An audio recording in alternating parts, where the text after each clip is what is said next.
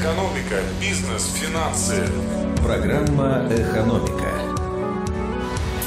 У микрофона Ольга Болезина. Здравствуйте. В Кирове до конца года построят 23 дома. Такую цифру дает администрация города на основе выданных разрешений на строительство. Общая площадь этих домов почти 220 тысяч квадратных метров.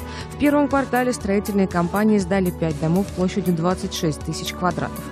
По данным объединения строителей Кировской области, объемы строительства многоквартирных домов снижаются несколько лет.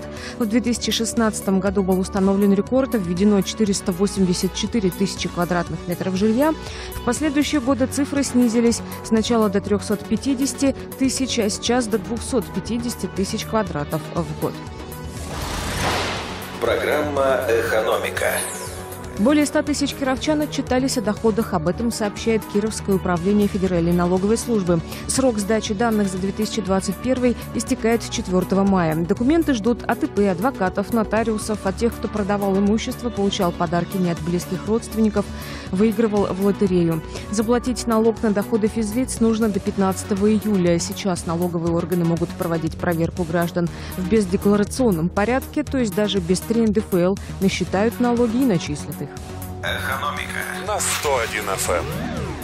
В драмтеатре к 9 мая выставили фото памятных монет на снимках событий времен Великой Отечественной войны и техника.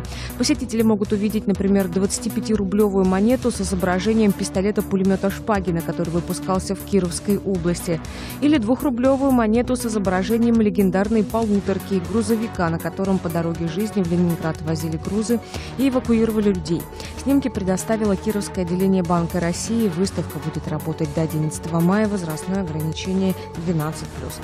Ольга Болезина. Новости экономики в Кирове.